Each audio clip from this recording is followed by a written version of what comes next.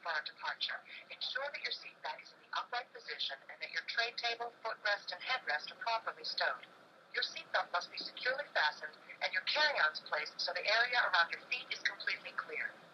Thank you for your attention. Now sit back and enjoy your flight on Midwest Airlines. The best care in the air.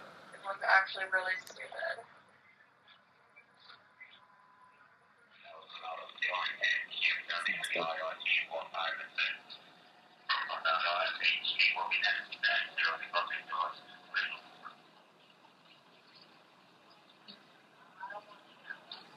Okay. We are now pointing out the emergency floor level lighting. The track lights will guide you to an exit. There are seven emergency exits. Two forward doors, one on each side, both equipped with evacuation slides.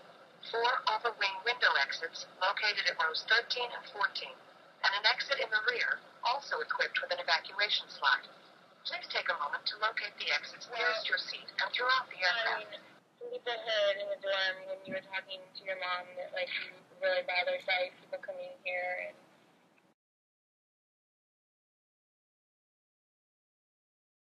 When they'll catch it like two minutes later, they're like, wait, we should I I don't want to take pride out of you. Yeah, they're like, I don't want to do it, I don't want to. And you're like, that's I'll not you to turn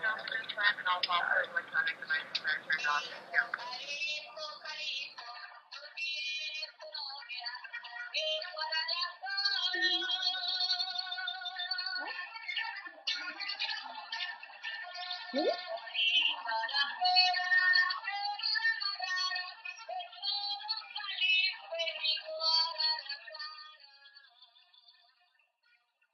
just like play themselves up to be so much better than they really are.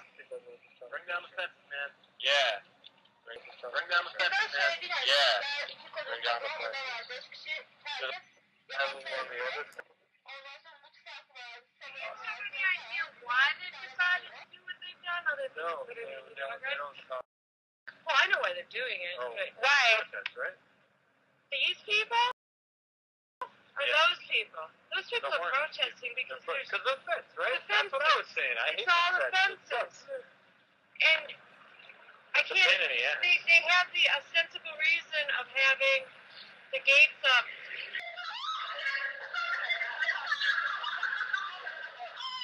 up.